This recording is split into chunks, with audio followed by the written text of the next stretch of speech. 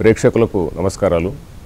మనం ఇదివరకు ఎపిసోడ్స్లో యోగం గురించి తెలుసుకుందామని ప్రయత్నం చేశాం. ఇదివరకు రెండు ఎపిసోడ్స్లో యోగం గురించి యోగం అంటే పతంజలి రాసినటువంటి యోగ సూత్రాలు. ఈ పతంజలి యోగ సూత్రాలు అంటే ఏమిటి? దానిలో ఏమున్నది అని. అంటే నేను ఒక యోగము ప్రాక్టీస్ చేసినటువంటి ఒక అధ్యాపకుడిలాగా కాకుండా ఆ పుస్తకంలో ఏమున్నది?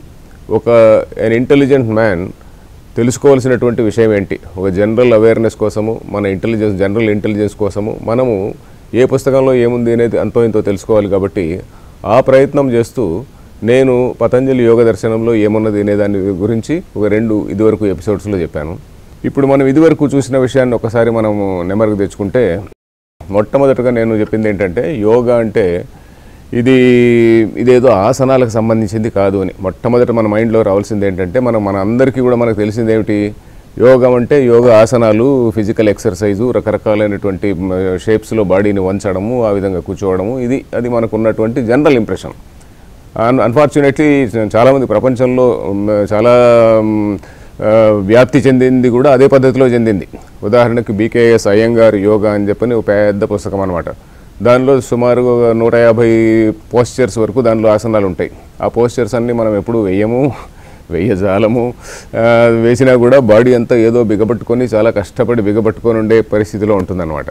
సో అది వాసనం అనేటువంటిది యోగం కాదు అనేటువంటిది తెలుసుకున్నాము. మరి యోగం అంటే ఏమిటి అంటే మన శరీరాన్ని మనస్సును కొంచెం కంట్రోల్లో తెచ్చుకోవడం మన శరీరాన్ని కంట్రోల్లో తెచ్చుకోవడం ద్వారా శరీరాన్ని కావచ్చు బ్రెత్ శరీరంలో భాగమే బ్రెత్ కదా బ్రెత్ అంటే ప్రాణ ఇది వాయువు.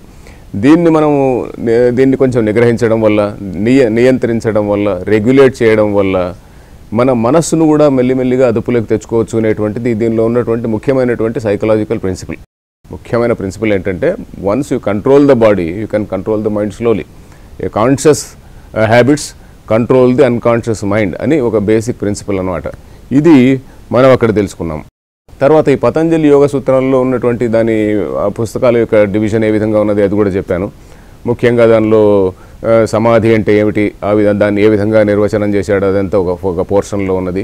తర్వాత సాధన సాధన పదము అనే దానిలో ఈ ఎనిమిది లిమ్స్ ఆఫ్ యోగా అష్టాంగ యోగం అనే పదం కూడా నేను చెప్పానప్పుడు అష్టాంగములు అంటే ఎనిమిది అంగములు. అంగాలు అంటే లిమ్స్ అనమాట ఇది లిమ్స్ అనాలనా స్టెప్స్ అనాలనా అని ఒక చిన్న ఒక చిన్న ఒక డిస్కషన్ ఉన్నది. లిమ్స్ అంటే ఒక మనిషికి పుట్టిన వెంటనే అన్ని లిమ్స్ ఒకేసారి పుడతాయి. అన్ని లిమ్స్ ఒకేసారి పుడతాయి అన్ని లిమ్స్ ఒకేసారి పెరుగుతూ ఉంటాయి. స్టెప్స్ అంటే అలా కాదు. స్టెప్స్ అంటే ఒక స్టెప్ తర్వాత ఇంకో స్టెప్ ఒక స్టెప్ తర్వాత ఇంకో స్టెప్. ఒక మనిషి ఒక నిచ్చెనకి వెళుతున్నప్పుడు ఒక స్టెప్ ఎక్కిన తర్వాత మళ్ళీ నెక్స్ట్ స్టెప్ వెళ్ళిపోతాడు కానీ కింద స్టెప్ అనవసరం అవుతుంది మళ్ళీ మూడో స్టెప్ వెళ్ళిన తర్వాత రెండో స్టెప్ అనవసరం అవుతుంది ఇది అలా కాదు. చివరి స్టెప్కి వెళ్ళినా కూడా మొదటి నుంచి ఉన్నవన్నీ కూడా ఉండాలి. అందుకని బహుశా దీన్ని స్టెప్స్ అనే ఒక పద్ధతిలో చూస్తే స్టెప్స్ అని అనొచ్చు. ఎందుకంటే ఒకటి మొట్టమొదటిది మనం సాధించనిదే రెండో స్టెప్లోకి పోలేము. రెండవ స్టెప్ సాధించనిదే మూడో స్టెప్లోకి పోలేము. ఆ పద్ధతిలో చూస్తే స్టెప్స్ అనొచ్చు. పోతే ఇవన్నీ కూడా ఉండి తీరాలి కాబట్టి చిట్ట చివరికి చేరుకున్నటువంటి వాడికి కూడా మనం గత ఎపిసోడ్లో ఏం చెప్పుకున్నామంటే ఉదాహరణకి అహింస సత్యము ఇట్లాంటి వాటి గురించి చెప్పుకున్నాం. ఇవన్నీ కూడా పై మెట్టెక్కిన వాడికి కూడా అవసరమే. పైమెట్ ఎక్కినవాడు ఎక్కిన వాడు నేను పైమెట్ ఎక్కేశాను కదా అని చెప్పని ల్యాడర్ను కిక్కింది ల్యాడర్ని దీన్ని తనడానికి వెళ్ళలేదు సో కాబట్టి ఇది లిమ్స్ అన్న అన్న అనొచ్చు లిమ్స్ అంటే అవయవాలు అన్న అనొచ్చు లేకపోతే స్టెప్స్ అని అయినా అనవచ్చు. ఇది ఒకటి చూసుకున్నాము. తర్వాత గత రెండు ఎపిసోడ్స్లో మనం చూసింది ఏంటంటే యమము ఎనిమిది పేర్లు అష్ట అంగములు ఉంటే ఆ పేర్లు చెప్పాను. యమ నియమ ఆసన ప్రాణాయామ ప్రత్యాహారము ధారణ ధ్యాన సమాధి అని ఎనిమిది పేర్లు చెప్పాను. అది ఏమిటి అనేది చూస్తున్నాం అనమాట పతంజలి ప్రతిదానికి కూడా కొన్ని సూత్రాలు రాశాడు. మొట్టమొదటి మొట్టమొదటి పతంజలి యోగ సూత్రాలు అంటే పేర్లోనే ఉన్నది. దానిలో కొన్ని సూత్రాలు. సూత్రం అంటే ఒక చిన్న ఫార్ములా టైప్లో ఉంటుందన్నమాట.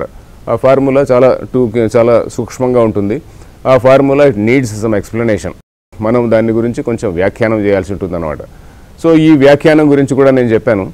పతంజలి రాసినటువంటి సూత్రాలకి అనేకులు ప్రాచీనులు. ఉదాహరణకి వ్యాసుడు అని ఆయన ఒక ఆయన భాష్యం రాశాడు. వ్యాసుడు అంటే మన వేదవ్యాసుడు కాకపోవచ్చు ఇంకొక వ్యాసుడు ఉండొచ్చు. ఎందుకంటే భాష మార్పు ఉంటుంది. వ్యాసుని కాలము వేరే ఈ కాల పతంజలి కాలం వేరే. కాబట్టి వ్యాసుడు అనే పేరుతో ఎవరో రాసి ఉంటారు ఆ వ్యాసుడు అనే అతను భాష్యం ఒకటి ఉంది. దాని తర్వాత ఇంకా సంస్కృతంలోనే ఇంకా సుమారు ఒక డజన్కు పైన డజన్ ఏమిటి? సుమారుగా ముప్పై నలభై కామెంటరీస్ వచ్చాయి. ఇటీవల ఆంగ్లంలో వచ్చినటువంటి ఒక కామెంటరీ కూడా నేను గత ఎపిసోడ్స్లో చూపించాను. ఒక అతను అమెరికన్ యూనివర్సిటీలో ఒక ప్రొఫెసర్ ఒక ఆయన రెడ్గర్ యూనివర్సిటీలో ప్రొఫెసర్ ఒక ఆయన ఎడ్విన్ బ్రయంట్ అనే అతను పతంజలి యోగ సూత్రాస్ అని చెప్పి ఒక పెద్ద వాల్యూమ్ రాశాడు. ఆ పుస్తకం కూడా నేను లాస్ట్ క్లాస్లో నేను చూపించాను. సో ఈ విధంగా అనేకులు పాశ్చాత్యులు కావచ్చు వాళ్ళు జర్మన్ కావచ్చు అమెరికన్ కావచ్చు యూరోపియన్ కావచ్చు ఇట్లాంటి వాళ్ళు ఎంతోమంది ఎంతెంతో రీసెర్చ్ చేసి దీనిలో ఈ ఆధునిక సైకాలజీకి సంబంధించినటువంటి అనేకమైనటువంటి ప్రిన్సిపల్స్ను దీనిలో నుంచి వీళ్ళు దీని నుంచి ఎవాల్వ్ చేశారనమాట దీనిలో నుంచి తీసుకున్నారు ఏదో దొంగిలించారని మనం అనడానికి వీల్లేదు. దీనిలో నుంచి ఎవాల్వ్ చేశారు. ఎందుకంటే ఇక్కడ మూల సూత్రం ఈ విధంగా ఉన్నది. దీన్ని పట్టుకున్న తర్వాత దీని నుంచి మళ్ళీ నెక్స్ట్ స్టెప్ ఏంటి? మన ప్రాబ్లం ఏంటంటే మనం పతంజలి అన్న తర్వాత మనం పతంజలికి నమస్కారం పెట్టి అతనికి కావాలంటే కొబ్బరికాయ కొట్టి స్తోత్రం కూడా చెప్పి కూర్చుంటాం కానీ పతంజలి చెప్పిన దాని తర్వాత నెక్స్ట్ స్టెప్ ఏంటి అని మనం అంతగా ఆలోచించాం. Somehow it is our Indian mind కానీ ఈ పాశ్చాత్యులు అలా కాకుండా వాళ్ళు దీన్ని పట్టుకున్న తర్వాత దీని నుంచి నెక్స్ట్ స్టెప్ ఏంటి? దీని నుంచి హౌ టు మెజర్ ఇట్ ఇప్పుడు సమాధి అంటాడు అనుకోండి. ఆ సమాధి అనే దాన్ని ఆ స్థితిని ఎలా మెజర్ చేయడము? అని ఆ విధంగా ఒక ఈ క్వాంటిటేటివ్ మెథడ్స్లోకి వెళ్ళడము ఇవన్నీ కూడా చేస్తారనమాట సో కాబట్టి వాళ్ళు వాళ్ళని కూడా మనం మెచ్చుకోవాల్సిందే. ఎందుకంటే వాళ్ళు చాలా తీవ్రంగా స్టడీ చేసి వీటిపైన వ్యాఖ్యానం రాసి దీన్ని పాశ్చాత్య దేశాల్లో చాలా పాపులరైజ్ చేస్తున్నారనమాట సో అది మనం మెచ్చుకోవాల్సిందే. సో గత ఎపిసోడ్స్లో మనము ఈ యమ అనే దాని గురించి సూత్రం చూసాము యమము అంటే ఏమిటి?